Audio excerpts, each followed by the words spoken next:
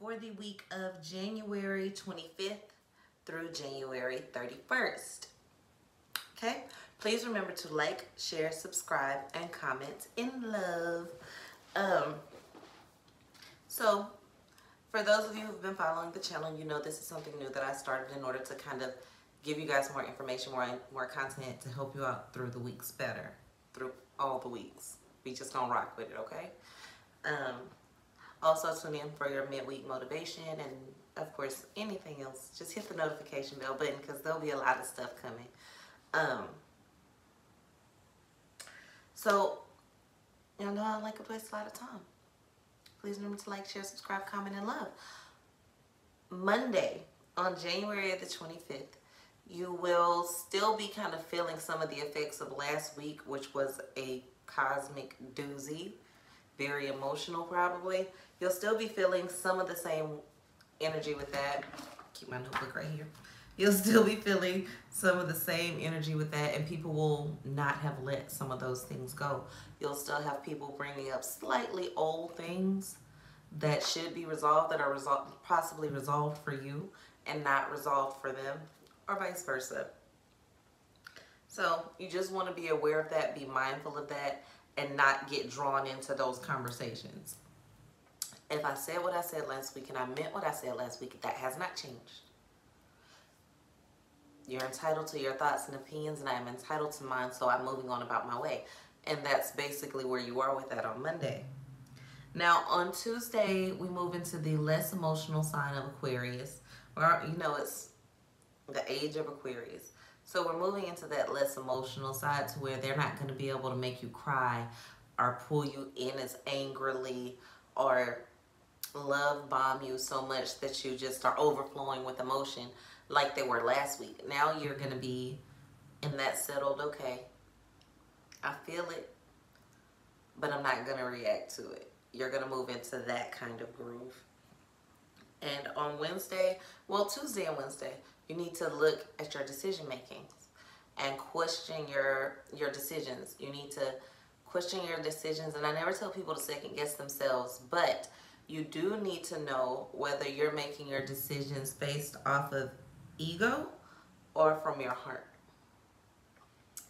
Are you with this person? And speaking of your love life, are you with this person because you love them or because your ego says that's who you should be with because they fit the criteria, because people expect you to, because you put so much time into it that your ego won't let you say you wasted that time. Why are you with them because you love them? Or why are they with you?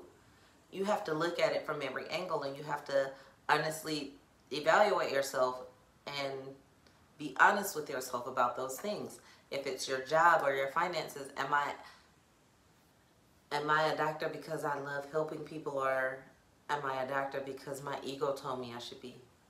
Do I want to be in management because I want because I'm good at it or be, and because this is what I truly want to do or is it an ego thing for me? You need to really sit back and reflect on those decisions, not saying that you have to up and quit your job that day, but you need to be aware of why you're making the decisions or up and leave your relationship. You need to be aware why you're there, why you're in that situation. So that you can make the right decisions going forward. What you so you'll know in the future what to hold on to and what to let go of because that season is coming sooner than you think. So Tuesday and Wednesday you need to sit with those thought processes and figure out whether you're making your decisions and living your life based out of your heart or out of your ego. If your answer is ego, then you probably need to just figure out what your heart wants to do. Maybe your heart and your ego are in complete and utter balance right now. That will be difficult to do, but all things are possible. Again, please remember to like, share, subscribe, and comment and love. Also, on Wednesday, you need to focus on love focus on the greater good because as you're looking at whether you're in your heart or your ego, why you're making the decisions that you're making, it'll be very easy to try to forget about the rest of the world or forget about what's best for uh, the environment or the world or whatever the case may be, the universe, the all of it. You, it's easy to forget about everything and be completely and utterly self-centered. And I have nothing wrong. I think there's nothing wrong with being selfish, but at some point there has to be some kind of give and take. You can't burn down the forest to, because you need a piece of paper. You see what I'm saying? So you need to focus on love and the greater good. Try to do something charitable that day because there are some changes cosmically that are coming that are going to require you to have that good karma. So start putting that good work out there this week, okay?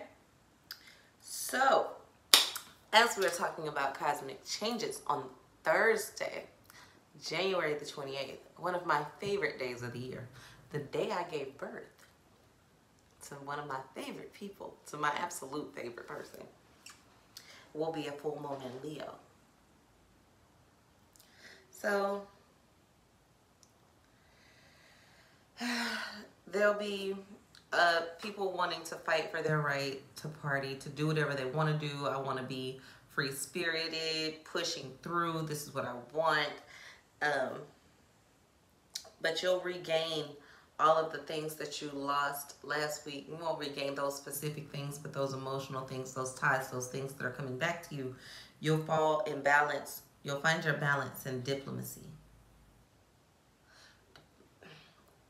There'll be some, there'll have to be some balance acquired on this day. So it's the full moon in Leo, and that has the tendency to be over the top, great, fun, exciting, but over the friggin' top. Like you're gonna want to do too much. People around you gonna be doing too much. It's magnificent, but it's over the top. You got to rein it in. So for your full moon ritual, this would be a good time for you to release pride and ego. So you know you do your full moon rituals where you write down the things that you're releasing, you fold them away from you, you burn your palo santo, you burn your sage, you sit by the water, you release those things, you know, very lightweight just very lightweight rituals that you can do during full moons. Most people have their own full moon setups, their full moon rituals. They take their spiritual baths, yada, yada, yada. Which is great. This is a time where you release your pride and ego because they cause blockages in your chakras. So you want to move those things out of the way, okay? And this is also a time that you need to accept the fact that some friendships that are lost will remain lost. You can't bring everybody back. You can't resurrect some old friendships. Even though you miss them or whatever the case may be, this is the time where you accept that you guys just went down different paths. You might not know what's ahead six years from now, but it's not something that you should be counting on, waiting on. Release those things, those friendships, those relationships that you're waiting, hoping that they they come back to you. Give a dog a bone. Leave a dog alone. Let a dog roam and he'll find his way home. Maybe he will. Maybe he got hit by a car. We don't fucking know. So you can't be sitting at home waiting on that damn dog to come back with that bone and he done got ran over by 18 wheeler. You're gonna be sitting there for a long time. So release it. Let it go. Maybe you'll buy a puppy. Who knows? So um that's where you're at on Thursday. So release those ego, those pride things, those ended relationships that you keep holding on to, release those things on that full moon in Leo, okay? They're good for that. Um, on Friday, you'll still be finding your balance. And you'll find your balance. And I don't mean just find your balance. You know how we've been talking about ego and pride and self-centeredness. You'll find your balance between what you need and what the people around you need and what the collective needs and you'll find your balance there on Friday. That's what you should be aware of. Not focused on, but just aware of because it comes to you gently. These things come gently the majority of the time, okay? You just have to be in a peaceful space. You have to be listening. You need to sit, meditate, get in the sauna, go for a swim, go relax, go for a run, go for a hike, whatever it is that brings you back to your center space. And when you get to your center space, that balance will be there for you and help you and help you find how to navigate between what you want and what is best for the people that you love. Because at the end of the day, even though you may want to be a millionaire, millionaire, if the only way you can become a millionaire is by losing everyone that you love, you'll find a way to create a balance to where you don't have to choose, to where everybody won't win. Everybody can't win all the time, but it doesn't have to be such a detrimental loss for everyone else for you to win and you'll find peace in that and you'll figure it out. So friday just be expecting those downloads those things especially if you do the releasing ritual of ego and pride with that full moon okay? And your creativity might be popping on friday